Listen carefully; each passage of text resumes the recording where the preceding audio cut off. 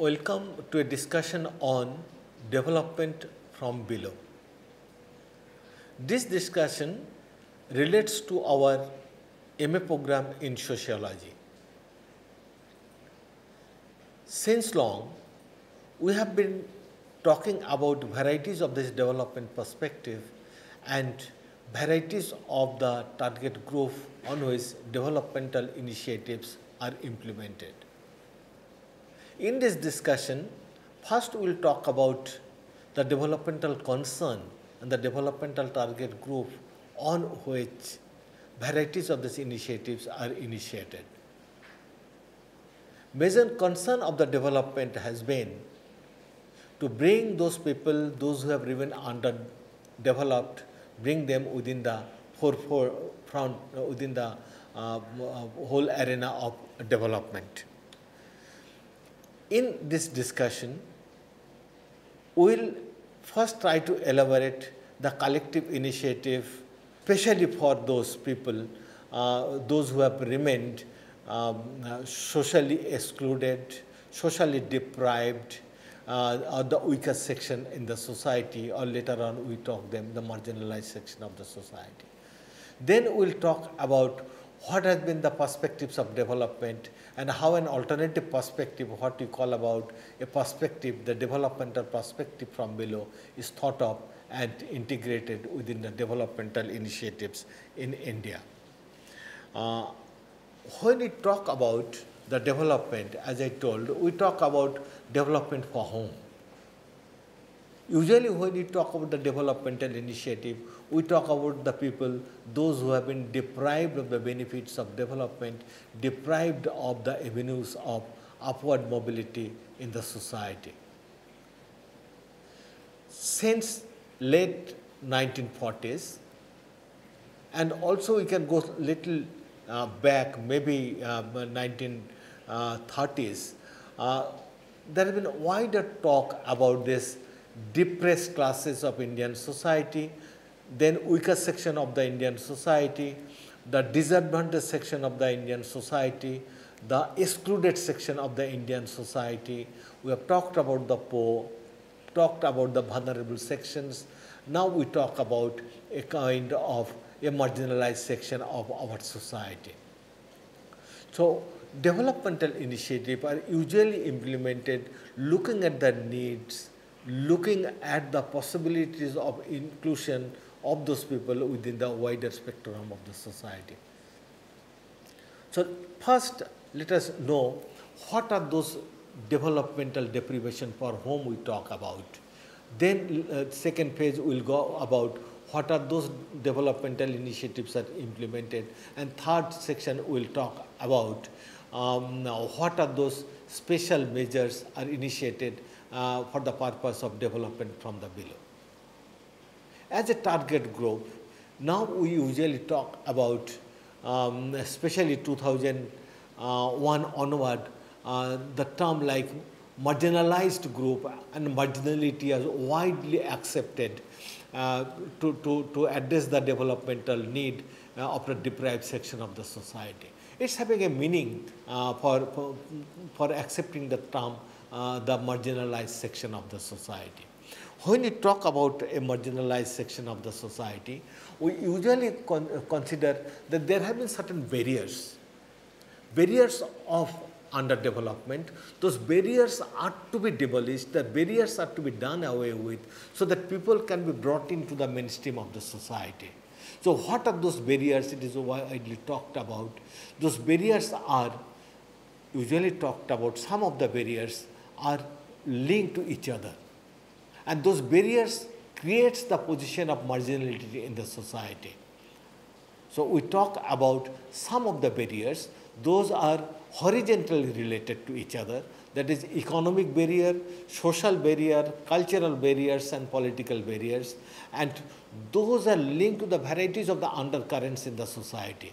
If somebody are economically poor, they are linked to their social deprivation, cultural deprivation and political non-participation. So by only one example we feel that they are interlinked. So we are find a varieties of horizontally related barriers in the society that contributes to their marginalization in the society. Then also we find something historically cumulative barriers.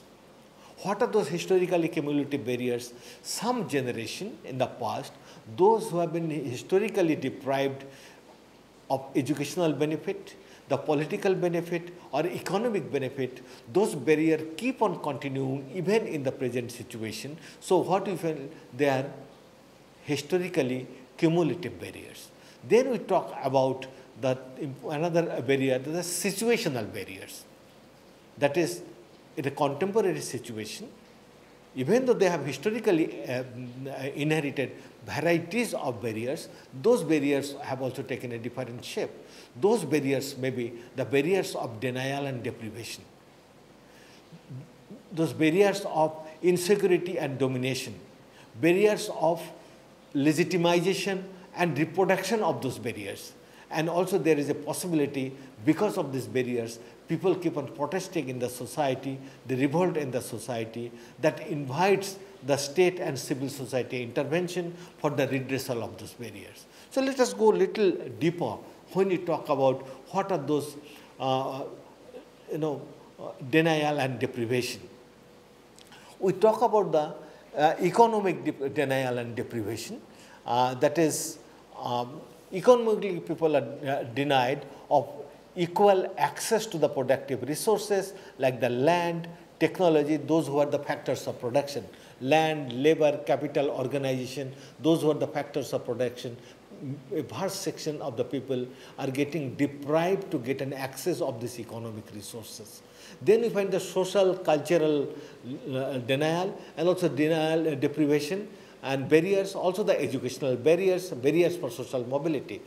We, uh, that is empirical research in India widely shows that uh, there is a vast segment of the population being belong to the lower caste or the ethnic group or the inferior race or the religious minorities or uh, women categories or deprived ethnicity, they are deprived of effective social capital effective potential to get the access to education, effective potential to get access to variety of the cultural capital in the society. So what we find, those deprivation also creating certain kind of barriers for uh, to get developed in the society. Then we find very uh, categorical political barriers because it is not important what you are. It is not important how you are. It is important that is whom you know politically. So what happened? Until unless there is an element of political association, association to the political um, power structure, a vast section of the population remain deprived or suffer from the barriers of mobility in the society. So what is important that there should be some mechanism to the break the barriers of political isolation, break the barriers of non-participation in the political processes, uh, those barriers are to be demolished. So that also is to be another um, kind of uh, developmental initiative. Third is the uh, another cultural barrier is usually created. What are those cultural barriers? Some segment of the people, they are made to be the part society and part culture. Part society and part culture, it usually remains because of increasing number of migration of the people from one part of the country to another or maybe social and economic dislocation. They emerge to be the outsider from the within, they also emerge to be the marginal man through this process, there is also a process of segregating a large segment of the population with the practice of purity of pollution in the society, also simultaneously creating a structure of hierarchy in the society.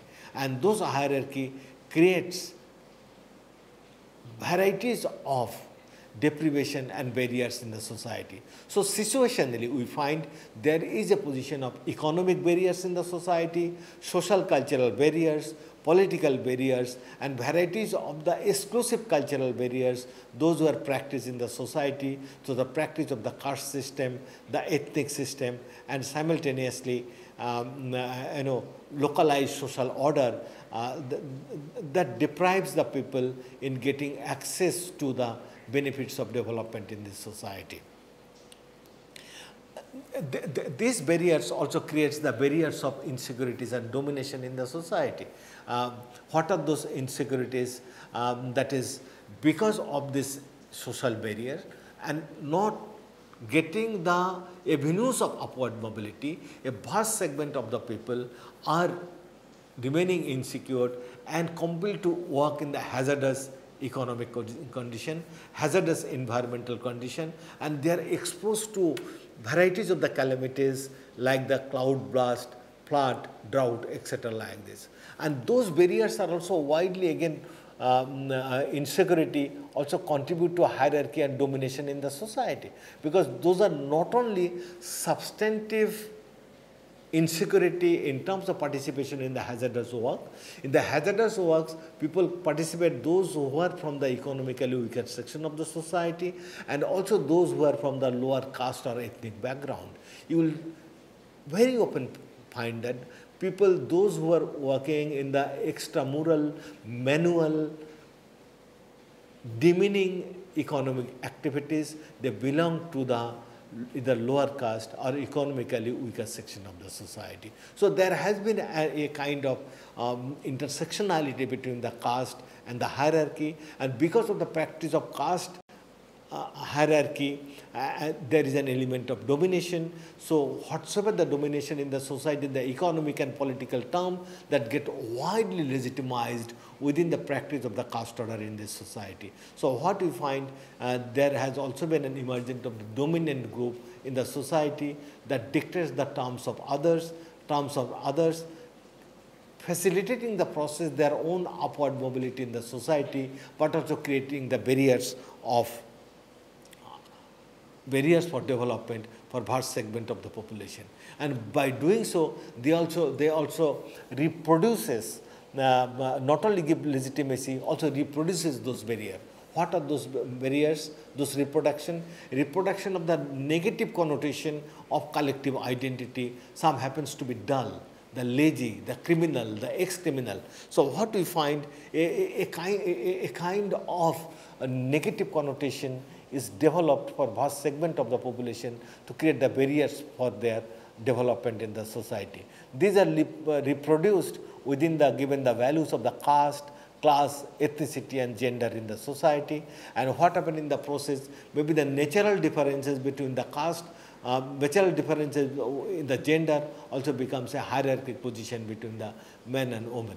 So what those, those inequalities, uh, those kind of natural inequalities also get a legitimized form of social hierarchy. So we find there is simultaneously the practice of primordial hierarchy in the society and they keep on uh, having a hegemonic position in the society, remaining unquestioned in, uh, in their authority, unquestioned to have access of the productive resources. So what we are talking about so far, the how those barriers are created through the institutional arrangement and got legitimized and reproduced over centuries or over decades and th that creates the barriers for development uh, in the society.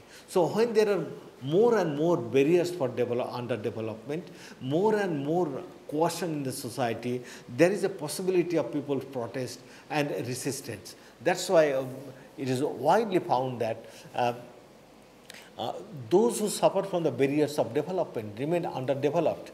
Uh, they, they reflect the behavior uh, trait of deviant, deviant behavior, the non-conformist behavior, and also those segment of the population um, uh, uh, widely participate in the radical protest, radical violence and social disruption. They also create a culture of in-group and uh, out-group and develop a kind of boundaries within varieties of the social group. So ultimately what happens, there may be reproduction of what we call ethnocentrism and also simultaneously a, a culture of group in itself and that, that breeds the whole culture of um, radical protest in the society. So, uh, barrier creates an amount of exclusion, exclusion creates an amount of protest, protest may be uh, at time radical, uh, at time non-conformist and also um, uh, you know creating varieties of social disruption um, in various parts of the country. all this what happened, all these brings uh, invites the state intervention. Well, state and civil society intervention is quite important uh, for the development um, uh, of the people in the society. Uh, so, what we, what we find that gradually in the process of development um, of those kind of protests and those kind of marginality and barriers uh, new state has also realized it is not that it is only the social scientists realizing the uh, erection of barriers developmental barrier in the society. It is the state also realizes those barriers. Civil society also realizes that barriers and they they bring in varieties of the developmental initiative uh, by bringing in new new kind of uh, state policies uh, international policies for the development of the people, uh, those who have uh, remained away um, from the mainstream of the society.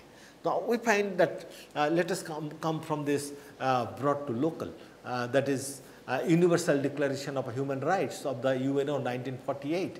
It widely talks about that all human beings are born free and uh, equal and everyone has the right to have a standard living, including the right to food, to clothing, housing, medical care, and necessary social services.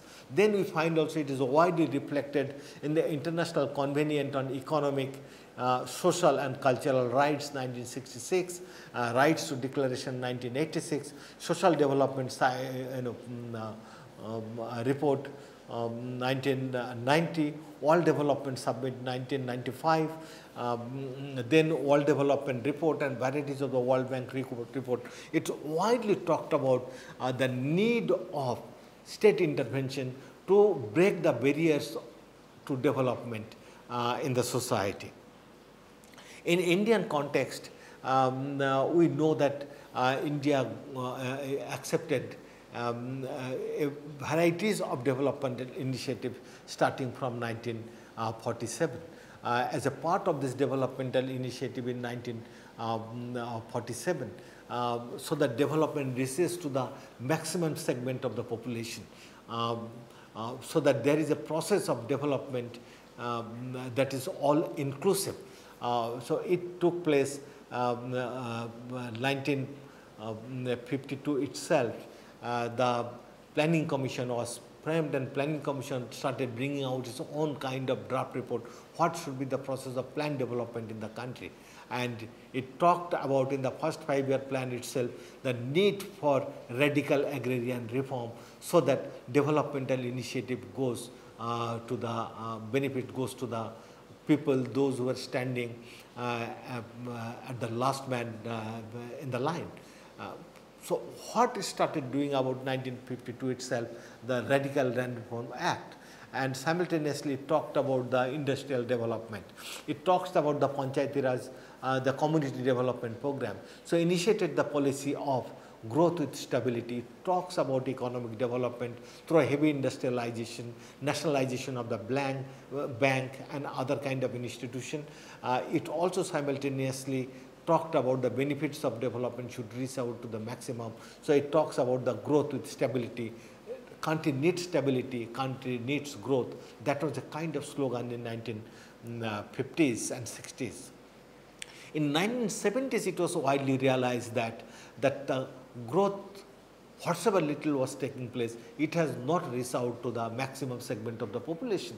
So there is there was a kind of realization that that growth process should be uh, rethought of.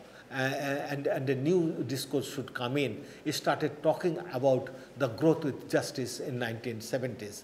And uh, 1980s, it talked about if development is to be uh, people-centric, and from the below there should be people's participation.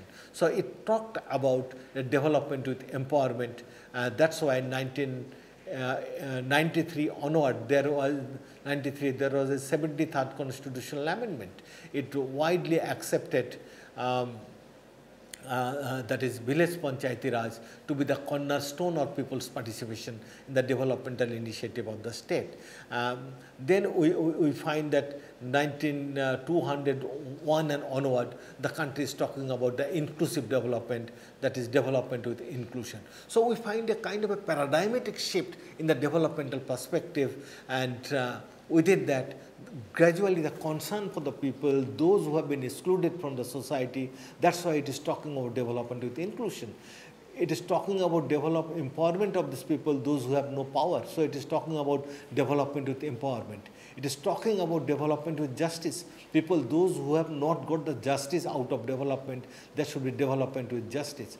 That's why gradually they develop the new framework of development that is human development and social development human development accepted the fact that economic growth is a means to an end, end is the human development. Human development will ensure um, that is uh, the educational, the health, employment and shelter security of the people and it is also widely talked about the development benefit should reach out to the all segment of the people that is talking about social development. So what we find, a new kind of developmental initiative it has come.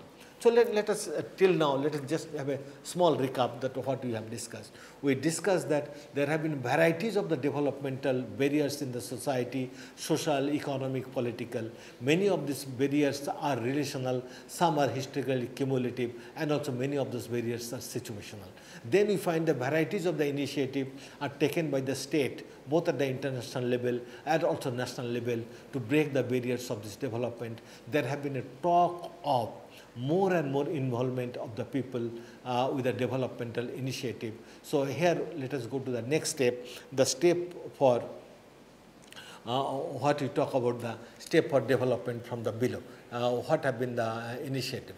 Uh, when we talk about the development uh, from below, it is widely we can go to the um, uh, Gandhian view of Gandhi widely talked about that is what should be the uh, involvement of people, nature of involvement of the people um, uh, with the developmental initiative.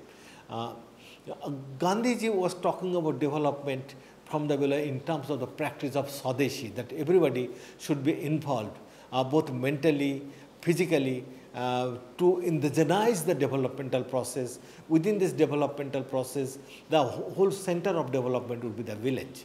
That is, uh, he, he wanted to develop not only a culture of Swadeshi, he was talking about a kind of a Swadeshi mentality, that is a determination to find all necessities of life of India, that's too through the labor and intellect of the people, those who live in the villages. So it, it is a kind of a development from the uh, below, that is development from the village itself. If the village is developed, it is the district that will develop. It's the district develop, it is, it, it, it, it is the state that will develop. If the state develops, it's the nation that will develop. So Mahatma Gandhi was talking about the whole foundation of the development should be linked to the practice of Swadeshi. For him, the practice of Swadeshi will bring a sense of empowerment, a new identity of the people uh, living in the villages, and ultimately they will enjoy enormous variety of economic liberty, and also freedom. We have to accept this fact at this stage that Mahatma Gandhi was an universalist. He was also simultaneously uh, an idealist. He was trying to develop a framework of an ideal society. That framework will be founded on Swadeshi and Charkha, and that, that, will, that will start its initiation from the village life itself. And uh, when he talked about Swadeshi, that is the uh, development from the below, he was talking about uh, Swadeshi that is called for the self-government, self-reliance, self-employment of the people and particularly of those for, for all villagers. So it, it was kind of a self-centric, collective self-centric development, development from the below.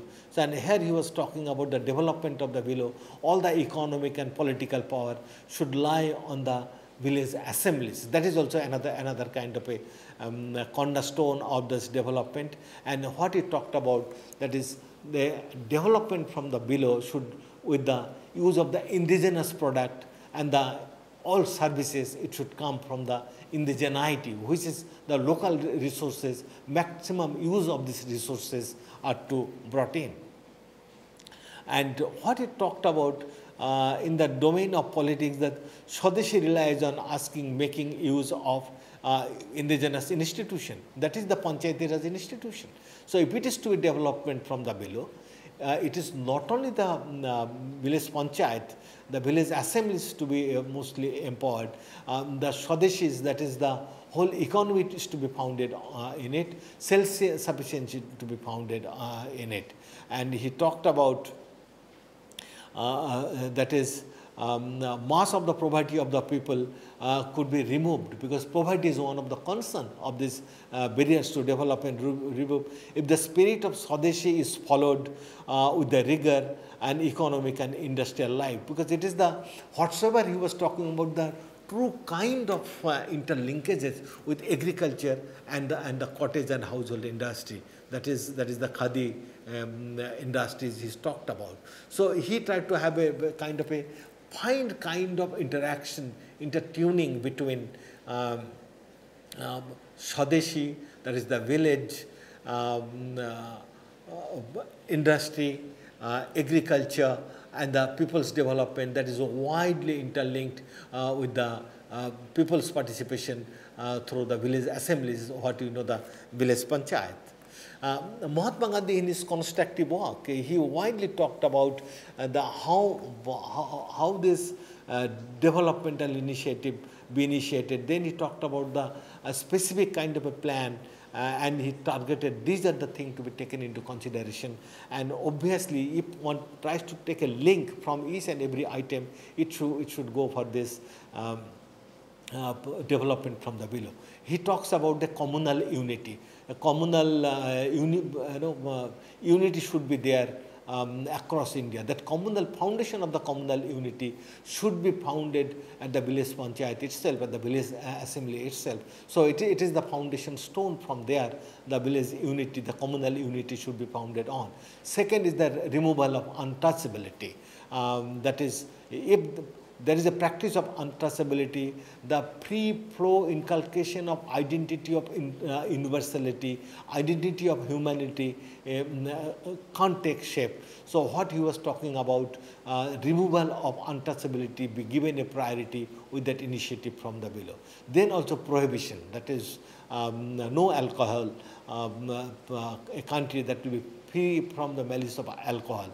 He also widely talked about the practice of um, khadi as I was talking few seconds back that is khadi is the foundation stone of development from the below that is it is the practice of charkha and varieties of these local industries uh, village industries are to be developed. He also talked about development from below should have this whole sense of um, uh, you know, village sanitation, uh, uh, program. Now we talk about the Swachhata mission, what Mahatma Gandhi already talked in 1948, that is uh, uh, India, a, clean India uh, should have a village sanitation program. And the new and basic education, that is the Nai Talim, that is, that is a kind of uh, his constructive program. And also he talked about the adult education. Um, you may be knowing um, that is uh, in our country, even though we consider 75% of the people are uh, literate, it means 25% uh, of our population are illiterate. Um, even we, when you count the literate people, you we count only the people, those who are having the uh, simple counting, writing and comprehension uh, ability. So they belong to the 25% of the population. What Mahatma Gandhi was talking about, people, those who have been semi-literate or illiterate, there should be a process of lifelong learning through a process of adult education so that there is a process of inclusion within the developmental initiative. And there should be a process of uh, constructive work for women in society. So what we find, what Gandhi has widely talked about, a kind of developmental initiative, initiative from the below, that is we have to accept that. And this is, this is the foundation stone uh, of, of de uh, development from the below. But how these have been partly initiated, partly accepted in varieties of our developmental scheme. Let us go little bit there.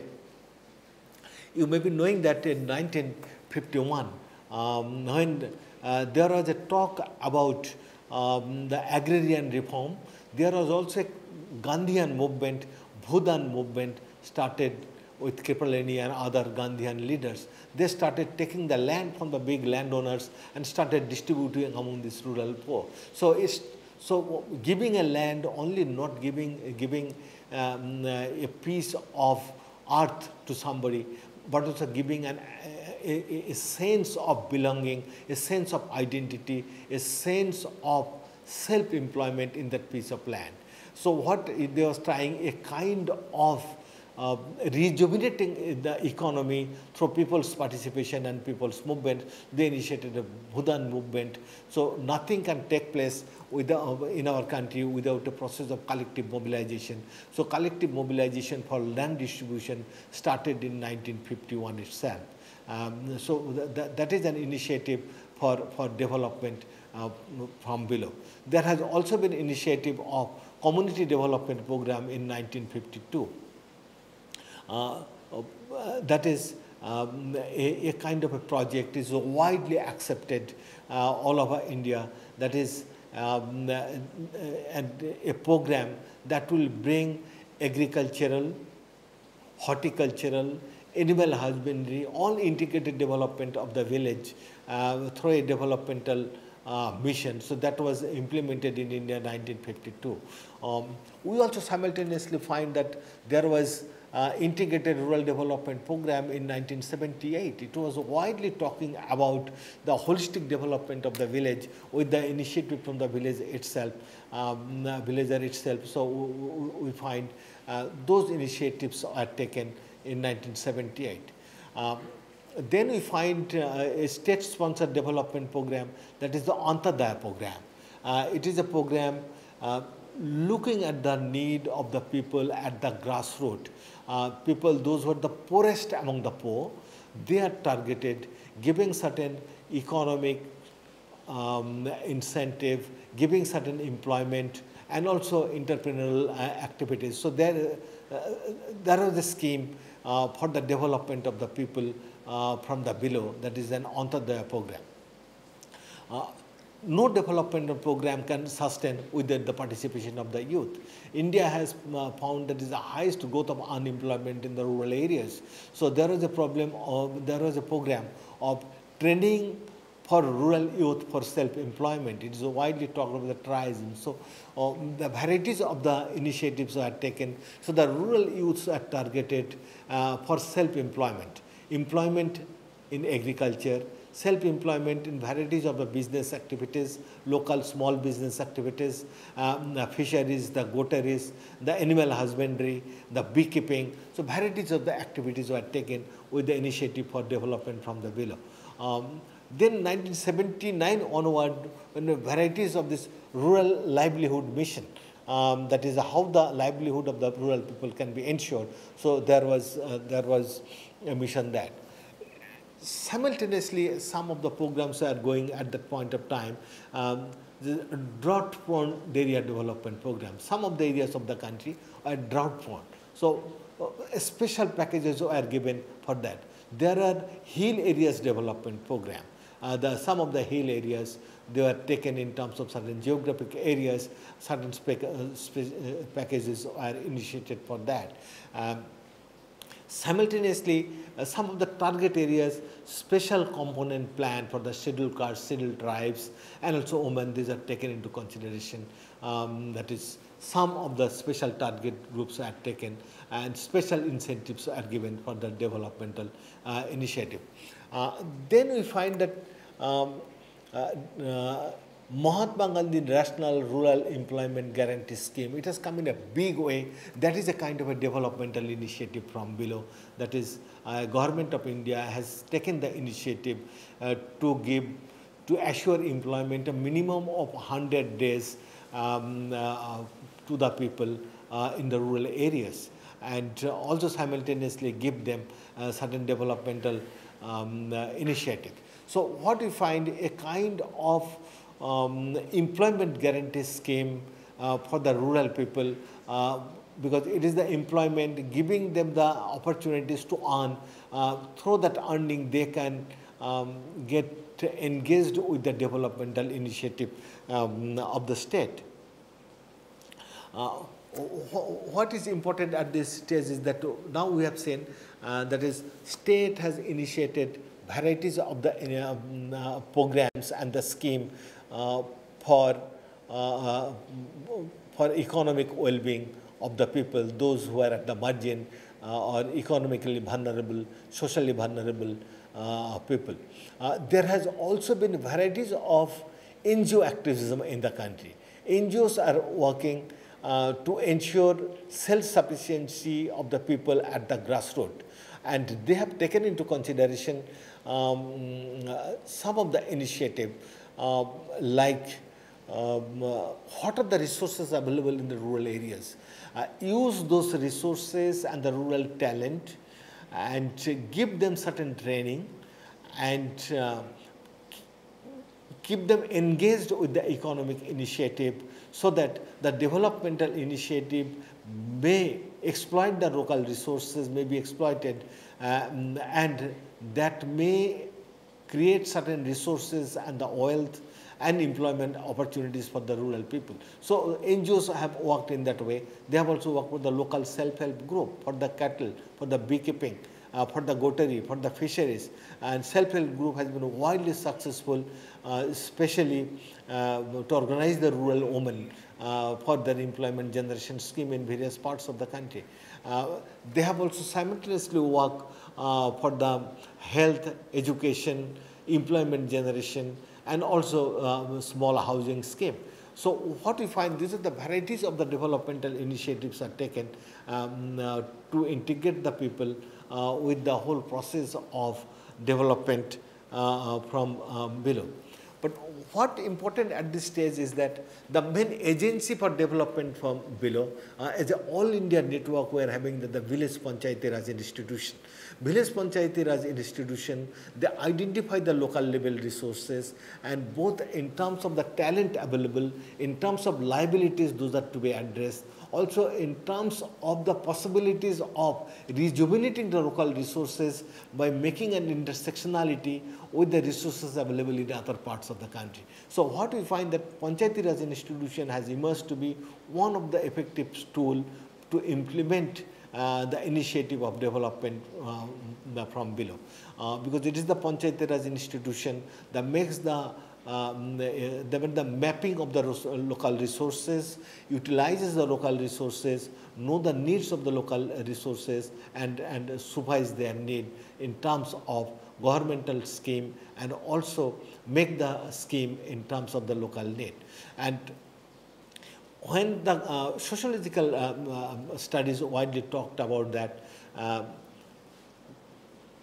local initiative and initiative from below grassroots developmental scheme has been widely successful in those places while there has been pressure from the below.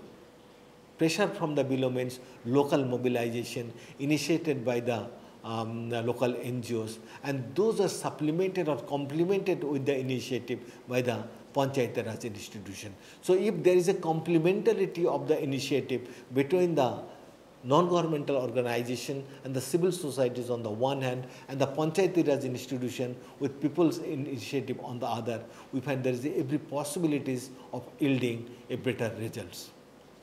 So at this stage, let us uh, come to come to this conclusion that India is a country which has been experiencing varieties of developmental barriers for a vast segment of the population.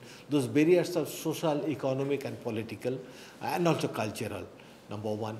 Number two, there has been significant state and political intervention to redress those barriers. And many of those barriers which we are talking about was widely underlined by Mahatma Gandhi in his constructive uh, work program, in his program of the Gram Swaraj and also in his program for uh, village regeneration that is talked about village self-sufficiency other program.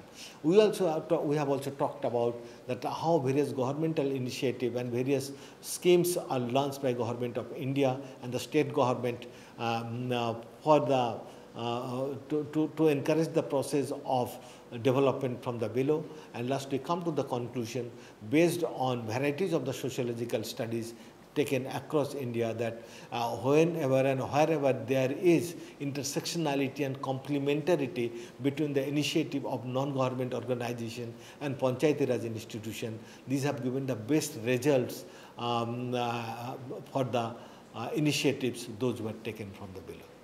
Thank you very much for being with this lecture.